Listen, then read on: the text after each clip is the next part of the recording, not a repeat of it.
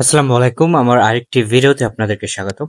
আজকে ভিডিওতে আমি ডিজিআই ম্যাট্রিক্স থার্টি টি এই ড্রোনটি ডে ফ্লাই করে দেখাবো এবং বেসিক্যালি আজকে এই ড্রোনটিকে আমরা পাঁচ কিলোমিটার দূরে নিব।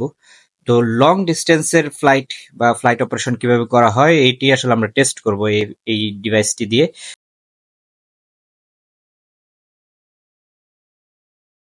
তো এখানে আমরা একটা যাতে ড্রোনের সাথে আমাদের রিমোটের কন্ট্রোলের যাতে কোনো ধরনের মাঝখানে অবস্টাকল না থাকে এই জন্য কিন্তু একটি বিল্ডিং এর ছাদ আমরা বেছে নিয়েছি এবং এখান থেকে আমরা বরাবর সামনের দিকে একেবারে প্রায় পাঁচ কিলোমিটারের মতো জায়গা এত দূরে আমরা পাঠাবো।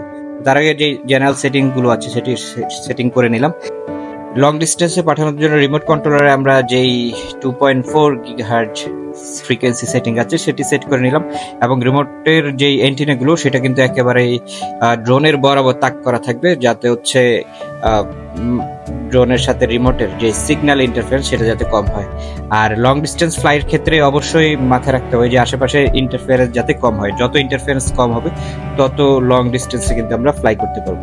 তো এখানে দেখতে পাচ্ছেন আমরা ড্রোনটা অলরেডি কিন্তু থ্রি পয়েন্ট থ্রি কিলোমিটার নিচের দিকে কিন্তু আমরা দেখতে পাচ্ছি এখানে থ্রি পয়েন্ট থ্রি কিলোমিটার আমরা পাঠিয়েছি।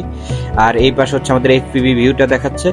উপরের দিকে সবকিছু যদি আমরা দেখি, এখানে আরসি সিগন্যালটাও দেখতে পাচ্ছেন যে মোটামুটি একটা দাগ মাত্র কমেছে এবং আমাদের ফ্লাইট যেই ডিউরেশন সেটা কতটুকু বাকি আছে, সেটা কিন্তু দেখাচ্ছে উনিশ মিনিটের মতো এখন আমরা ফ্লাই করতে পারব। তো ড্রোনটা বরাবর সামনের দিকে যাচ্ছে। এখানে যে নিচের দিকের ফ্লাইট ডিসপ্লেটা এটা কিন্তু এয়ারক্রাফটের ফ্লাইট ডিসপ্লের মতোই। ডান পাশে দেখাচ্ছে আমাদের অ্যালটিটিউড এখানে হচ্ছে আমরা একচল্লিশ পয়েন্ট সেভেন মিটার অ্যালটিটিউডে আছি। তার নিচে দেখাচ্ছে এজিএল এএসএল মানে অ্যাবভ সি লেভেল মানে আমরা যে জায়গাটা আছি, ওই জায়গাটা সি লেভেল থেকে হচ্ছে এতটুকু উপরে এবং ড্রোনের উচ্চতা হচ্ছে একচল্লিশ পয়েন্ট নাইন এখন অ্যালটিটিউড আর তার উপরে যে ভিএসটা ওটা হচ্ছে স্পিড মানে ভার্টিক্যাল স্পিড দেখাচ্ছে মানে কত মিটার পার সেকেন্ডে সে উপরের দিকে উঠছে সেটা। এখন আমরা উপরের দিকে উঠছি না, সেটা কিন্তু জিরো দেখাচ্ছে। আর ডান পাশের, পরে হচ্ছে বাম পাশে বাম পাশে হচ্ছে স্পিড দেখাচ্ছে, আমরা কত স্পিডে যাচ্ছি সেটা কিন্তু এখানে দেখাচ্ছে। তো এখন একেবারে আমরা কাছাকাছি চলে আসলাম। এই ড্রোনটিতে যেহেতু IR camera, zoom camera, FPV বিভিন্ন ক্যামেরা আছে, তো এখানে সুইচ হওয়ার জন্য কিন্তু রিমোট কন্ট্রোলার লেফট সাইডে চাপ দিলে কিন্তু যেমন আয়ার বরাবর ওই বাটনটা চাপ দিলে আয়ার ক্যামেরা ওপেন হবে, জুম বরাবর চাপ দিলে জুম ক্যামেরা ওপেন হবে। তো এখন কিন্তু আমাদের সেই মেইন ক্যামেরা যেটা, সেটাতে আমরা আছি। আর ডান সাইডে কোনায় কিন্তু আমাদের এফপিভি ভিউটাও দেখা যাচ্ছে। তো ড্রোনটা সামনের দিকে আগাচ্ছি আমরা এবং এটার অবস্টেকল যদি কোনো কিছু থাকে, সেটাও কিন্তু এখানে যে রেডারটা আছে অবস্টেকল এভিডেন্স রেডার সেটাও সেটাতে কিন্তু দেখাবে। মাঝখানে যে গোলটা, সেটা কিন্তু হচ্ছে এটার চতুর্দিকের অমনি ডিরেকশনাল রেডার তো আমরা almost four point five kilometre চলে এসেছি, নিচে দেখতে পাচ্ছেন। এবং সামনের দিকে যে রোডটা সেটা কিন্তু আমরা অলমোস্ট দেখতে পাচ্ছি। তো এখানে উইন্ড কিন্তু আছে উইন্ডের কারণে ড্রোনটা যে বেঁকে যাচ্ছে এফপিভি ক্যামেরা কিন্তু আমরা দেখতে পাচ্ছি। কিন্তু মেইন ক্যামেরাটা গিম্বলাইজড হওয়ার কারণে সেটাতে কিন্তু খুবই স্মুথ ভিডিও রেকর্ড হচ্ছে। তো এই যে আমরা সেই মেইন রোডে একেবারে চলে আসলাম। এখানে আমাদের জুম ক্যামেরাটা এই যে আমরা জুম টেস্টিং করতেছি। এখানে আমরা টেন এক্স জুম দিলাম। তো টেন এক্স জুম দেওয়ার কারণে কিন্তু আমরা একেবারে ক্লোজলি দেখতে পাচ্ছি। যদিও আমাদের ড্রোনটা কিন্তু বিয়াল্লিশ মিটার উপরে। তারপর কিন্তু আমরা খুবই ক্লোজলি দেখতে পাচ্ছি। এই ড্রোনটাতে প্রায় দুইশো এক্সের মতো জুম আছে। ষোলো এক্স হচ্ছে অপটিক্যাল জুম আর এরপর হচ্ছে হাইব্রিড জুম যেটাকে বলে। মানে অনেক বেশি হাই হাই জুম দেওয়া যায় এই ক্যামেরাটাতে। আর পাশাপাশি রাতের বেলা যদি আমরা ফ্লাই করি, রাতে আমরা নেক্সট ভিডিওতে আমি আপনাদেরকে রাতের বেলা দেখাবো। তো আয়ার ক্যামেরা দিয়ে রাতের বেলাও কিন্তু খুবই স্মুথ ভাবে দেখা যায়। তো এই যে এই গেটের পাশে কিন্তু এখানে একটা রিসোর্ট টাইপের বা রেস্টুরেন্ট টাইপের আছে, সেটাও কিন্তু আমরা ইজিলি দেখতে পাচ্ছি। চল্লিশ মিটার উপরে থেকেই। মানে নিচের মানুষদেরকে আমরা ডিস্টার্ব না করেই উপর থেকে খুবই সুন্দরভাবে সার্ভুলেন্স কিন্তু আমরা করতে পারছি। এখানে যে আমরা কিছুক্ষণ চেক করলাম যে আসলে জুমটা কীভাবে কাজ করতেছে, কতটুকু কোয়ালিটি সবকিছু কিন্তু এখানে আমরা চেক করতেছি। পাশাপাশি কিন্তু আমাদের এটা মাথায় রাখতে হবে, আমাদের ওই যে উপরে যেই ফ্লাইট ডিউরেশনটা দেখাচ্ছে, এটা এইচ বরাবর যখন চলে আসবে, তখন কিন্তু আমাদের রিটার্ন টু হোমে আসতে হবে, যাতে আমরা এই ফোর কিলোমিটার বা পাঁচ কিলোমিটার দূরত্ব থেকে যাতে আবার ফিরে আসতে পারি। আর আমাদের যে আরসি সিগন্যাল সেটা কিন্তু দেখতে পাচ্ছেন যে মাঝে মাঝে একটু রেড হয়ে যাচ্ছে, এখন কিন্তু দুইটা সিগন্যাল আছে। তার মানে এই ড্রোনটা ডিজিআই ক্লেম করছে যে ষোলো কিলোমিটার যায়, কিন্তু আমরা কিন্তু প্রায় ফোর পয়েন্ট এইট বা ফাইভ কিলোমিটার যাওয়ার পরে আরসির যে সিগন্যাল সেটা কিন্তু হাফ হয়ে গিয়েছে। তো এই যে এখানে এফ এফপিবি ভিউটায় যদি আমরা দেখি এফ এফপিবি ভিউ কিন্তু আমরা দেখতে পাচ্ছি। বুঝতে পারতেছেন যে আমরা কত উপরে আছি। এই এফপিভি ভিউটা থাকার কারণে একটা সুবিধা হয়েছে এই ড্রোনে যাতে কোনো ধরনের অবস্টাকল সামনে আছে নাকি আমরা ইজিলি কিন্তু এফপিভি ভিউতে বুঝতে পারি যে ড্রোনটার উচ্চতা সামনে কি আছে, এগুলো কিন্তু দেখা যায়। কারণ নিচের যে ক্যামেরা, সেটা কিন্তু অন্য কাজে বিজি থাকলে আমরা এফপিভি এখানে যে আয়ার অন করলাম, আয়ারে কিন্তু হচ্ছে রাতের বেলা দেখা যায় যে জায়গায় হিট বেশি, ওই জায়গাতে আসলে হোয়াইট দেখায় হোয়াইট হট এটাকে বলা হয়। তো এখানে যদি আমরা ড্র্যাগ করে দিই, কোন পয়েন্টে হিট বেশি টেম্পারেচার বেশি, সেটা কিন্তু দেখা যাচ্ছে। এখানে দেখা যাচ্ছে ছাপ্পান্ন ডিগ্রি সেলসিয়াস আর নিচের এই জায়গা হচ্ছে তেত্রিশ ডিগ্রি সেলসিয়াস তো এইভাবে কিন্তু আমরা হিট সেন্সিংও করতে পারি জাস্ট ড্র্যাগ অ্যান্ড ড্র্যাগ করে দিলে সেখানে কিন্তু দেখা যায়। এই যে আমরা আরও জুম দিলাম, প্রায় টেন এক্স জুম এখানে কিন্তু পুরো রোডের সব কিছু ডিটেলস ভাবে দেখা যাচ্ছে। এই যে জুম ব্যাক করতেছি আমরা। তো এই ড্রোনটাতে জুম ক্যাপাসিটি থাকার কারণে কিন্তু অনেক উপর থেকে খুব ভালোভাবে মানে সার্ভুলেন্স করা যায় বা নজরদারি করা যায় আর কি।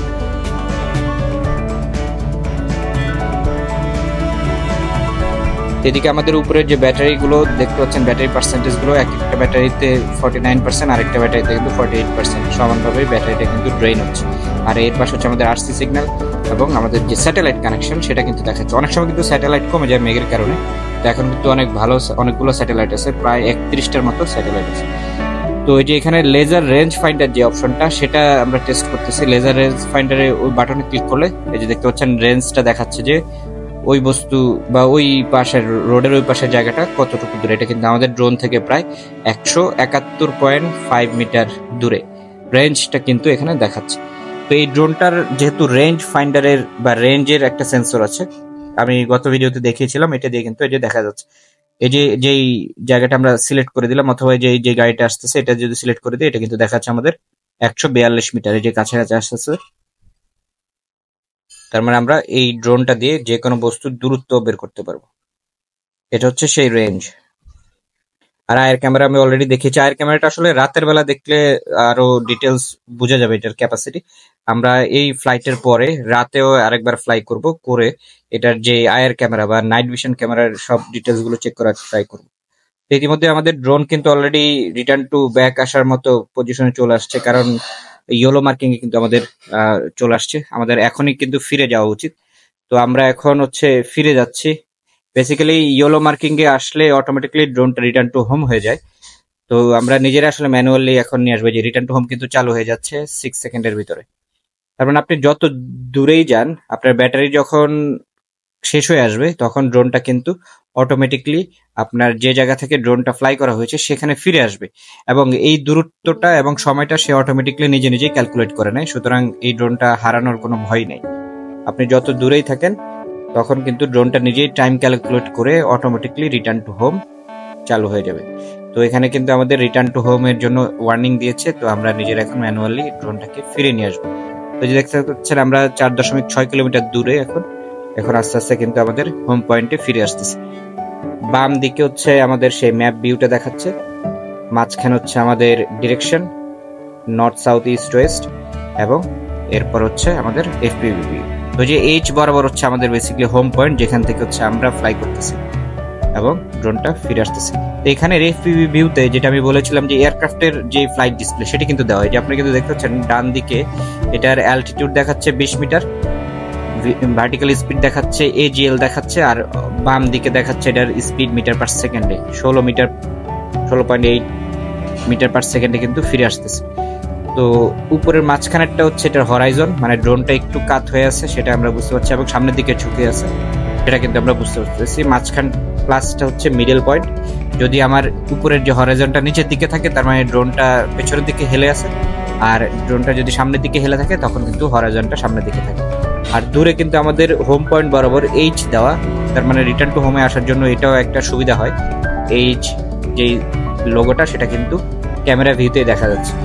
তো এটাও আরেকটা ফ্যাসিলিটি এই ড্রোনটায় যখন রিটার্ন টু হোমে আসবে হোমটা কিন্তু সে ক্যালকুলেট করে রাখে এবং হোমটার ইন ফ্লাইট ডিসপ্লেতে ক্যামেরা ভিউতেই সে কিন্তু দেখাচ্ছে যে আমাদের হোমটা কোথায়। সুতরাং আমরা কিন্তু শর্ট ডিস্টেন্সেই হোমে চলে আসতে পারি। তো ড্রোনটা কিন্তু ফিরে আসতে সেখানে দেখাচ্ছে যে প্রায় আট মিনিট সাতান্ন সেকেন্ডের মতো আর টাইম আছে। এর ভেতরে কিন্তু আমাদের ড্রোনটাকে ফিরে নিয়ে আসতে হবে। তো ড্রোনটা কিন্তু অলরেডি মিডলে চলে আসছে এবং আমাদের দিকে চলে আসতেছে এবং অলমোস্ট কিন্তু আমরা তিন কিলোমিটার দূরে আছি এখন এবং আমাদের হেডিংটা হচ্ছে ওয়ান ওয়ান নাইন এই হেডিংটা আসলে ওভারঅল থ্রি সিক্সটি মানে তিনশো ষাট ডিগ্রি আকারে ভাগ করা হয়।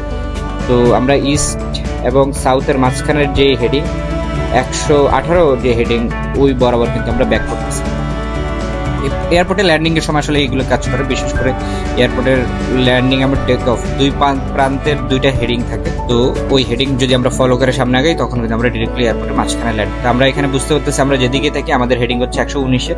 আমরা ড্রোনটা যত দূরেই নেই, আমরা একশো উনিশ বরাবর হেডিং এ যদি পিছনে আসতে থাকি, তখন কিন্তু আমরা হোমে চলে আসি তো লং ডিস্টেন্স ফ্লাইটের ক্ষেত্রে আমি কিছু সাজেশন যদি দিই লং ডিস্টেন্স ফ্লাইটের ক্ষেত্রে অবশ্যই আমাদের রিমোটের ফ্রিকোয়েন্সিটা টু পয়েন্ট ফোর গিগাহার্জে দিয়ে রাখব, যাতে হচ্ছে এটা আসলে বড় ওয়েব লেন্থ এবং অনেক দূর পর্যন্ত এটা থাকে। যদিও ভিডিও ফিডটা খুব বেশি ভালো আসবে না, কিন্তু লং ডিস্টেন্সে ভিডিও ক্রিয়ার জন্য মানে কন্ট্রোলিং এর জন্য আমরা টু পয়েন্ট ফোর গিগার সবসময় ইউজ করব।